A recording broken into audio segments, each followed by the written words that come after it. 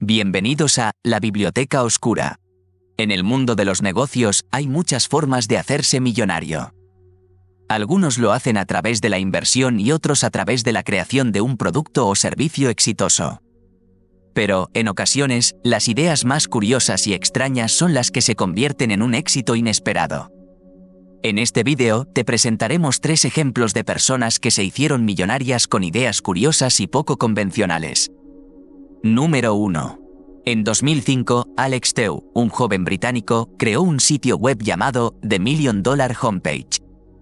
En este sitio, Tew vendió espacios publicitarios de 10 por 10 píxeles por un dólar cada uno.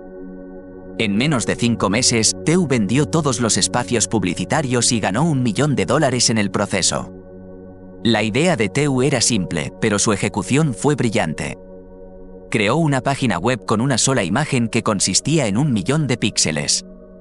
Cada píxel estaba a la venta y se podía comprar por un dólar.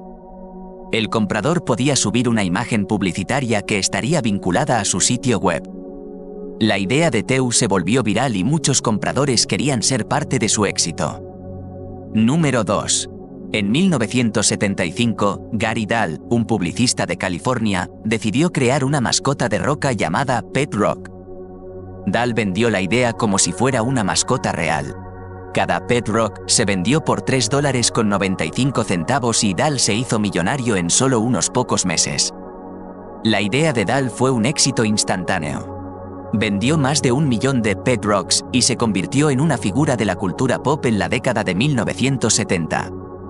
Los compradores recibían una roca de tamaño medio que venía en una caja con paja. También venía con una guía de cuidados para la mascota de Roca. La idea de Dal fue un gran éxito y demuestra que cualquier cosa puede ser vendida si la idea es lo suficientemente original. Número 3. En el año 2000, Sarah Blakely, una mujer de Florida, creó una prenda de ropa interior sin costuras que no se notara debajo de la ropa ajustada. Blakely cortó los pies de un par de pantimedias y creó la primera prenda de lo que ahora se conoce como Spanx. La idea de Blakely era simple, crear una prenda que fuera cómoda y que no se notara debajo de la ropa ajustada. Pero su ejecución fue brillante. Blakely vendió las primeras Spanx desde su apartamento y pronto se convirtió en la primera mujer millonaria en Estados Unidos en tener una empresa de ropa interior. Conclusión.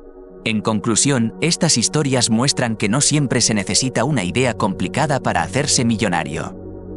A veces, la simplicidad y la originalidad son las claves del éxito. La creatividad y la perspicacia pueden ser las herramientas más poderosas en el mundo de los negocios. Recuerda, no tengas miedo de pensar diferente. El éxito puede estar esperándote en el lugar más inesperado. Y siempre, sigue adelante con tu idea, incluso si parece que nadie más lo está haciendo. Muchas gracias por ver La Biblioteca Oscura y recuerda suscribirte y dejar un like para no perderte los próximos misterios y curiosidades que os rodean. Gracias.